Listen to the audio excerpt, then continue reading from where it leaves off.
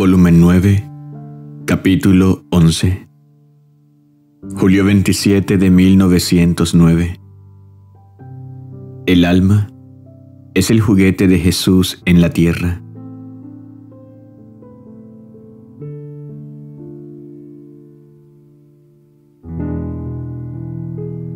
Encontrándome en mi habitual estado, pensaba entre mí, ¿qué haré? No sirvo para nada. Él no viene y yo he quedado como un objeto inútil porque sin Él no valgo nada, no sufro nada. Entonces, ¿para qué tenerme sobre esta tierra?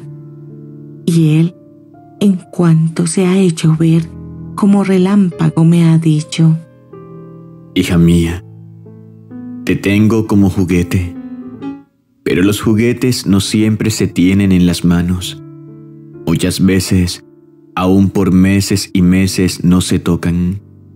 Pero a pesar de esto, cuando el dueño de aquel juguete lo quiere, éste no deja de formar su diversión. ¿Quieres tú acaso que ni siquiera un juguete tenga yo sobre la tierra? Haz que me entretenga contigo a mi agrado sobre la tierra, y yo, en correspondencia, te haré entretenerte conmigo en el cielo.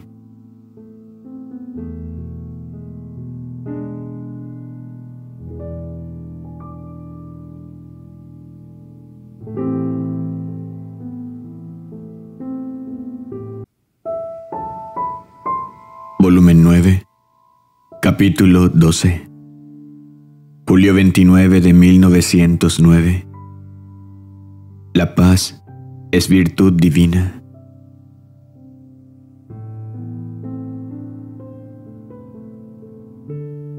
Continuando, mi habitual estado desea entre mí. ¿Por qué el Señor quiere que no entre en mí ni un aliento de turbación y que en todas las cosas me mantenga siempre en paz. Parece que ninguna cosa le agrada, aunque fueran obras grandes, virtudes heroicas, sufrimientos atroces. Parece que Él olfatea en el alma y a pesar de todas estas obras, virtudes y sufrimientos, si no hay paz, queda nauseado y descontento del alma. En ese momento se ha hecho oír y con una voz digna e imponente, respondiendo a mi por qué, me ha dicho. Porque la paz es virtud divina y las otras virtudes son humanas. Así que cualquier virtud, si no está coronada por la paz, no se puede llamar virtud sino vicio. He aquí el por qué me importa tanto la paz. Porque la paz es la señal más cierta de que se sufre y se obra por mí. Y es la herencia que doy a mis hijos, la paz eterna que gozarán conmigo en el cielo.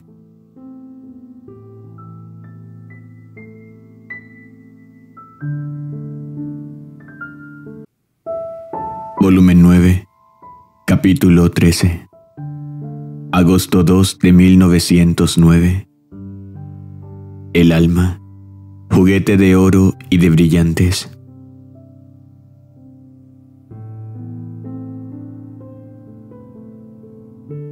Estaba pensando en lo que había escrito el 27 del mes pasado y decía entre mí, yo creía que era alguna cosa en las manos del Señor pero no soy otra cosa que un juguete. ¿Qué objeto vilísimo soy yo? Los juguetes pueden ser de barro, de tierra, de papel, de masa elástica, que basta que caigan a tierra o un mínimo golpe para romperse, y no sirviendo más para jugar, se desechan. Oh, mi bien, cómo me siento oprimida pensando que un día u otro me podrás arrojar de ti. Y el buen Jesús se ha hecho oír diciéndome, Hija mía, no te oprimas. Cuando los juguetes son de materiales viles y se rompen, se desechan. Pero si son de oro o de brillantes o de otro material precioso, se mandan reparar y sirven siempre para formar el entretenimiento de quien tiene el bien de poseerlos. Tal eres tú para mí, un juguete de brillantes y de oro purísimo, por tener en ti mi imagen y por haber desembolsado el precio de mi sangre para adquirirte, y porque estás adornada con la semejanza de mis sufrimientos. Así que no eres un objeto vil que pueda desecharte. Me cuestas mucho. Puedes estar tranquila, porque no hay peligro de que pueda desecharte.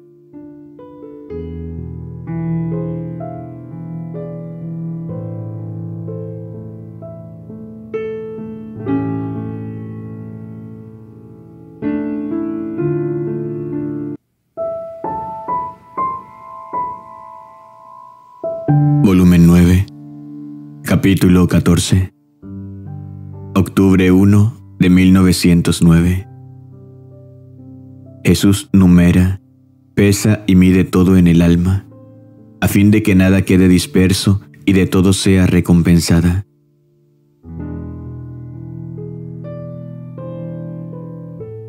Encontrándome muy afligida por mi pobre estado, me sentía nauseante a mí misma y abominable ante Dios.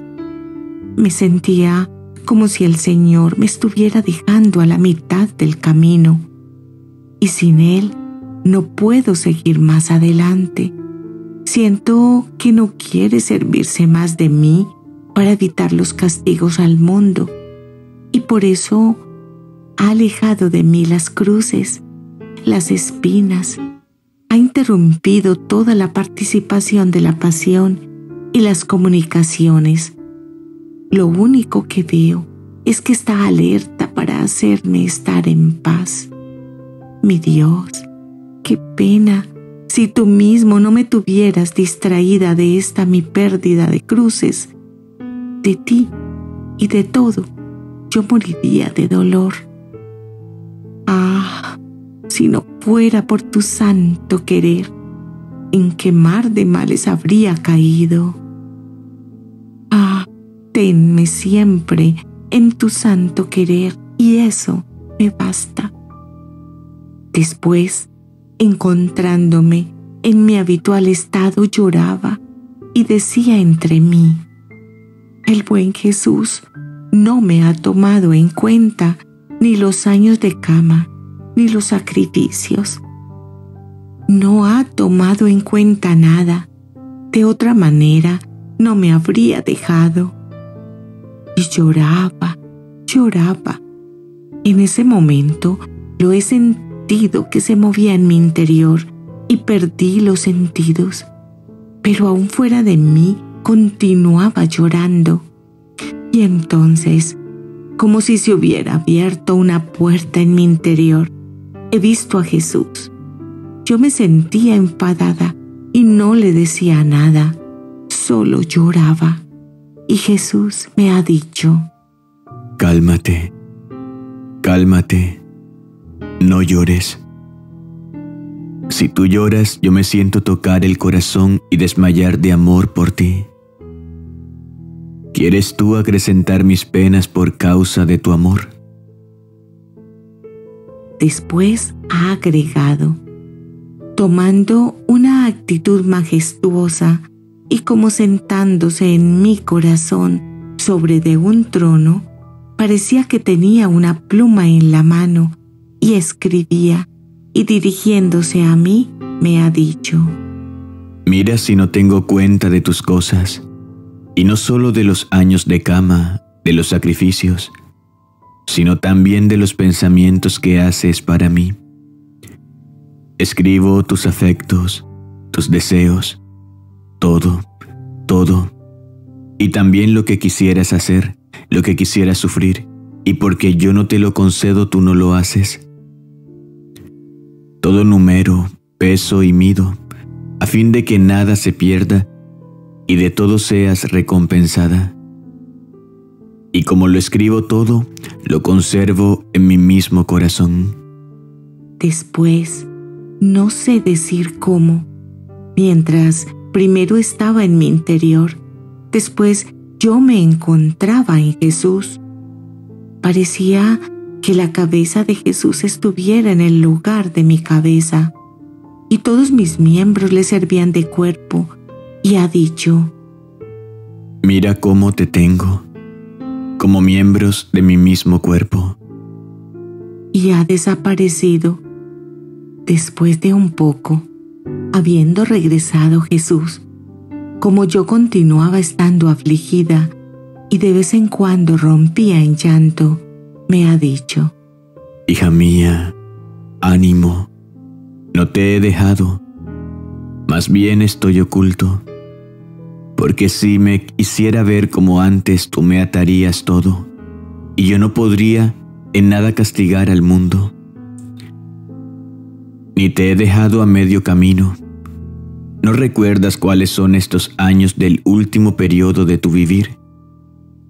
son los años queridos por tu confesor. ¿No recuerdas que no una vez, sino que cuatro o cinco veces te has encontrado luchando conmigo, yo que te quería traer, y tú decías que la obediencia no quería? Y mientras yo te había preparado para poderte traer conmigo, era obligado a dejarte de nuevo. Mira ahora las consecuencias de eso. Son años de espera y de paciencia. La caridad y la obediencia tienen sus espinas que hacen grandes heridas y hacen sangrar el corazón, pero también hacen brotar las rosas más grandes, olorosas y bellas. Porque viendo en tu confesor el fruto de su buen querer y la caridad y el temor de que el mundo pudiese ser castigado, por eso yo he concurrido en algún modo. Pero si yo no hubiera encontrado a ninguno que me hubiese rogado y se hubiera interpuesto, ciertamente ya no estarías aquí. Pero vamos, ánimo, no será tan largo el exilio, y te prometo que vendrá un día en que no me haré vencer por ninguno. ¿Quién puede decir en qué amarguras me encuentro, confortada sí, pero amargada hasta la médula de los huesos, y no puedo recordarme de esto sin llorar. Tanto que al decírselo al confesor eran tantas las lágrimas que parecía que me impacientaba con él, y verdaderamente le he dicho, usted ha sido la causa de mis males.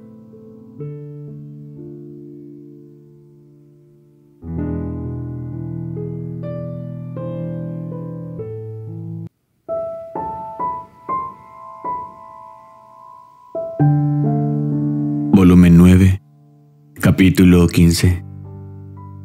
Octubre 4 de 1909. El pensamiento de sí mismo se debe interrumpir para hacer lo que hace Jesús.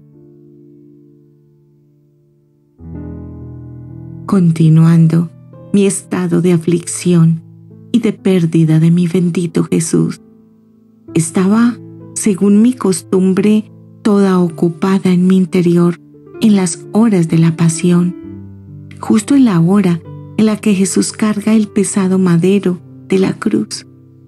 Todo el mundo me estaba presente, presente, pasado y futuro.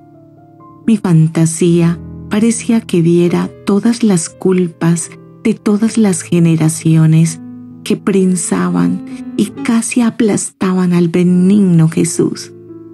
Así que la cruz no era otra cosa que una brisna de paja, una sombra de peso en comparación con el peso de todos los pecados. Yo trataba de estrecharme a Jesús y decía, mira mi vida, mi bien, estoy yo a nombre de todos ellos. ¿Ves cuántas olas de blasfemias Y yo, para repararte, te bendigo por todos. ¿Ves cuántas olas de amarguras, de odios, de desprecios, de ingratitudes, de poquísimo amor? Y yo quiero endulzarte por todos, amarte por todos, agradecerte, adorarte, honrarte por todos. Pero mis reparaciones son frías, mezquinas, finitas. Tú que eres el ofendido, eres infinito, por lo que también mis reparaciones, mi amor, quiero hacerlos infinitos. Y para hacerlos infinitos, inmensos, interminables, me uno a ti con tu misma divinidad. Es más, junto con el Padre y con el Espíritu Santo, y te bendigo con vuestras bendiciones. Te amo con vuestro amor. Te endulzo con vuestras mismas dulzuras. Te honro, te adoro, como hacéis entre las divinas personas. Pero, ¿quién puede decir todos los desatinos que decía? No terminaría jamás si lo quisiera decir todo. Cuando me encuentro en las horas de la pasión, siento que junto con Jesús yo también abrazara la inmensidad de su obrar. Y por todos y por cada uno glorifico a Dios, reparo, impetro por todos y por eso el decirlo todo me resulta difícil. Entonces, mientras esto hacía, el pensamiento me ha dicho, ¿piensas en los pecados de los demás y los tuyos? Piensa en ti, repara por ti. Así que traté de pensar en mis males, en mis grandes miserias, en las privaciones de Jesús que son causa de mis pecados, y distrayéndome de las cosas acostumbradas de mi interior, lloraba mi gran desventura. Mientras estaba en esto, mi siempre amable Jesús se ha movido en mi interior y con voz sensible me ha dicho, ¿Quieres tú juzgarte? El obrar de tu interior no es tuyo, sino mío. Tú no haces otra cosa que seguirme, el resto lo hago todo por mí. El pensamiento de ti misma lo debes quitar. No debes hacer otra cosa que lo que yo quiero. Y yo pensaré en tus males y en tus bienes. ¿Quién puede hacerte más bien, tú o yo? Y mostraba que se disgustaba. Entonces me he puesto a seguirlo, pero poco después llegando a otro punto del camino del Calvario, en el cual más que nunca me internaba en las diversas intenciones de Jesús. El pensamiento me ha dicho, no solo debes quitar el pensamiento de santificarte, sino también el de salvarte. ¿No ves que por ti misma no eres buena para nada? ¿En qué te aprovechará hacer por los demás? Yo, dirigiéndome a Jesús, le he dicho, Jesús mío, tu sangre no es para mí, tus penas, tu cruz. He sido tan mala que habiéndolas pisoteado bajo mis pies con mis culpas, tú tal vez las has agotado para mí. Ah, perdóname, pero si no quieres perdonarme, déjame tu querer y estaré contenta tu voluntad es todo para mí. He quedado sola sin ti y solo tú puedes conocer la pérdida que he tenido. No tengo a nadie. Las criaturas sin ti me fastidian. Me siento en esta cárcel de mi cuerpo como esclava en cadenas. Al menos por piedad, no me quites tu santo querer. Y mientras esto pensaba, me he distraído de nuevo de mi interior y Jesús de nuevo me hizo oír su voz fuerte e imponente que decía, ¿No quieres terminar con eso? ¿Quieres tú estropear mi obra en ti? Y no sé, pero como si hubiera puesto silencio en mi mente, he tratado de seguirlo y de terminar con esos pensamientos.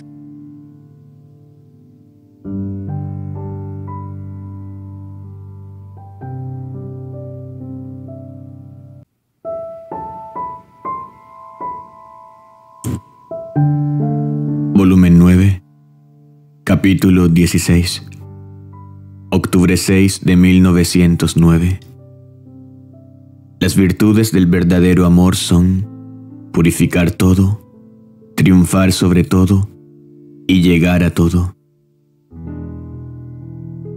Habiendo recibido la comunión, ha venido por un poquito mi siempre amable Jesús.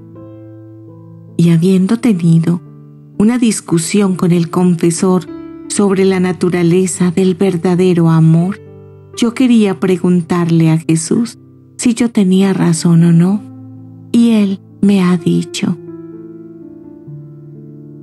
Hija mía, es exactamente así como tú decías, que el verdadero amor facilita todo, excluye todo temor, toda duda, y todo su arte es posesionarse de la persona amada. Y cuando la ha hecho suya, el amor mismo le suministra los medios para conservar el objeto adquirido. Ahora, ¿qué temor, qué duda puede tener el alma de una cosa suya? ¿Qué cosa no espera? Es más, cuando ha llegado a tomar posesión de ella, el amor se hace intrépido y llega hasta pretender los excesos y a lo increíble. No hay más tuyo o mío. El amor verdadero puede decir, tuyo soy yo y mío eres tú. Así que podemos disponer juntos, hacernos felices juntos, gozárnosla juntos. Si te he adquirido, quiero servirme de ti como me place. Y cómo el alma en este estado de verdadero amor puede ir pescando defectos, miserias, debilidades, si el objeto adquirido todo le ha condonado, de todo le enriquece, y el objeto que posee la va purificando continuamente. Estas son las virtudes del verdadero amor, purificar todo, triunfar sobre todo y a todo llegar. En efecto, ¿qué amor podría haber por una persona a la que se teme, de la que se duda, de la que no se espera todo? El amor perdería lo más bello de sus cualidades. Es verdad que también en los santos se ve esto, y eso dice que en los santos el amor puede ser imperfecto y puede tener sus variedades según los estados en los que se encuentran. En ti la cosa es muy diferente. Debiendo estar ya tú conmigo en el cielo, y habiéndolo sacrificado por amor a la obediencia y del prójimo, el amor ha quedado confirmado en ti, la voluntad confirmada a no ofenderme, así que tu vida es como una vida que ya ha pasado por eso no adviertes el peso de las miserias humanas. Por eso mantente atenta a lo que te conviene y a amarme hasta el infinito amor.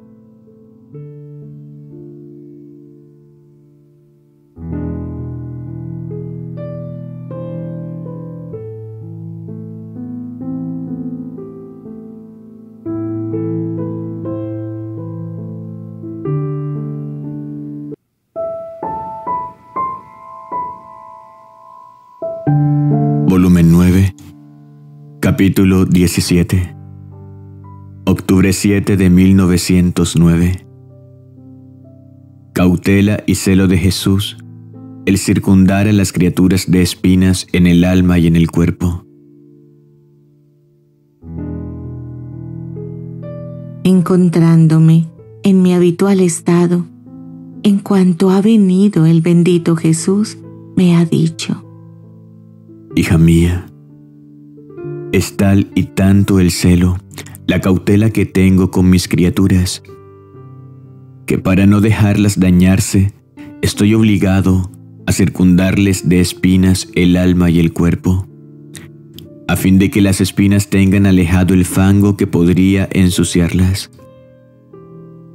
Es por esto, hija mía, que aún mis más grandes favores con los que favorezco a las almas a mí más amadas, los circundo de espinas, esto es, de amarguras, de privaciones, de estados de ánimo, a fin de que estas espinas no solo me las custodien, sino que no las dejen ensuciarse con el fango del amor propio y de otras cosas. Y ha desaparecido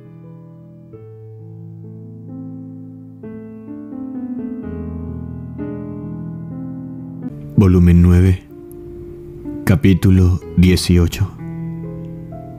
Octubre 14 de 1909. Pruebas de que es Jesús quien va a Luisa. Continuando mi habitual estado, me parecía encontrar en mis brazos al niño Jesús, y de uno se han hecho tres y yo me sentía toda inmersa en ellos. Después, en la mañana cuando vino el confesor, me ha preguntado si había venido Jesús y yo le dije, como está escrito arriba, sin agregar otra cosa. Entonces el confesor me dijo, Nada te han dicho, nada has comprendido. Y yo, no sé decirlo bien. Y él continuaba diciéndome, Ha sido toda la Trinidad. ¿Y no sabes decir nada? Te has vuelto más tonta. Se ve que son sueños. Y yo, sí, es verdad que son sueños. Y ha seguido diciéndome otras cosas. Y mientras el confesor hablaba, yo me he sentido estrechar fuerte fuerte por los brazos de Jesús, tanto de perder los sentidos. Y Jesús me decía, ¿quién es el que quiere molestar a mi hija? Y yo, el Padre tiene razón, porque yo no sé decir nada. No tiene ninguna señal de que quien viene a mí seas tú, Jesucristo. Y Jesús continuó diciéndome, yo hago contigo como haría el mar a una persona que fuera a arrojarse a lo profundo de él. Yo te arrojo toda en mi ser, de modo que todos tus sentidos quedan inundados, y si quieres hablar de mi inmensidad, profundidad y altura, podrás decir que era tanta que la vista se te perdía. Si quieres hablar de mis delicias, de mis cualidades, podrás decir que son tales y tantas, que tratabas de abrir la boca para numerarlas y quedabas ahogada, y así de todo lo demás. Además, como que ninguna señal he dado de que soy yo? Falso. ¿Quién te ha mantenido 22 años en cama, sin interrupciones y con plena calma y paciencia? ¿Ha sido tal vez virtud de ellos o virtud mía? y las pruebas que hicieron durante los primeros años de este tu estado?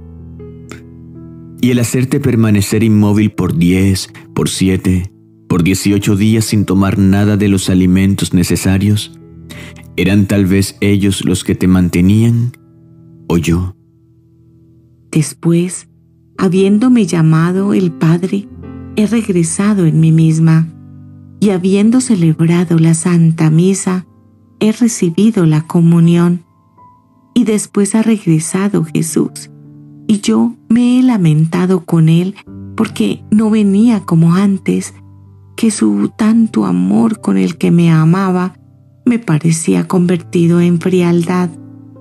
Es verdad que lamentándome contigo siempre me pones excusas, que porque quieres castigar y por eso no vienes, pero yo no lo creo ¿Quién sabe qué mal hay en mi alma?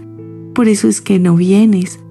Al menos dímelo, que a cualquier costo, a una costa de mi vida lo quitaré. Pero sin ti no puedo estar. Piensa lo que quieras, pero así yo no puedo seguir adelante, o contigo en la tierra o contigo en el cielo. Y Jesús bendito, interrumpiéndome a hablar, me ha dicho, Cálmate, cálmate. No estoy lejos de ti. Estoy siempre contigo. No me ves siempre, pero siempre estoy contigo. Más bien, me estoy en lo más íntimo de tu corazón para reposarme. Y conforme tú me buscas y con paciencia toleras mis privaciones, así me circundas de flores para aliviarme y hacerme reposar más pacífico. Y mientras esto decía, parecía que en torno a Jesús había tanta variedad de flores que casi lo ocultaban. Después ha agregado, Tú no crees que es por castigar al mundo que te tengo privada de mí. Sin embargo, es así. Cuando menos lo esperes, oirás cosas que sucederán. Y mientras esto decía, me hacía ver en el mundo guerras, revoluciones contra la iglesia, iglesias incendiadas, y todo parecía casi inminente.